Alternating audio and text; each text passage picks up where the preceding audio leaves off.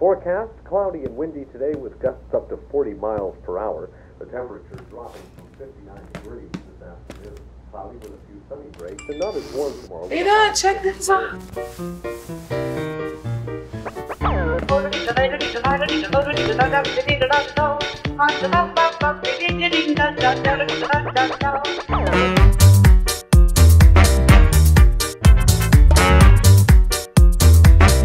مميزات رد لعيلتي كلها. رد انت رقم واحد.